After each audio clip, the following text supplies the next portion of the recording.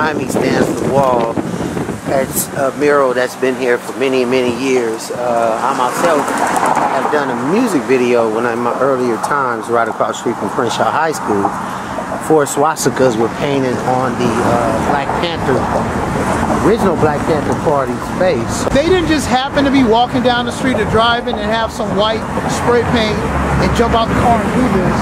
They targeted the Black Panthers and they did this to make a statement and we showed them that we wouldn't even let this stay up by the time these kids got out of school at Crenshaw High to see something like this. No, this is just uh, one of the indications of you know some of the problems that we are going to experience once this railroad opens up and once this degenerate element comes down here on the show.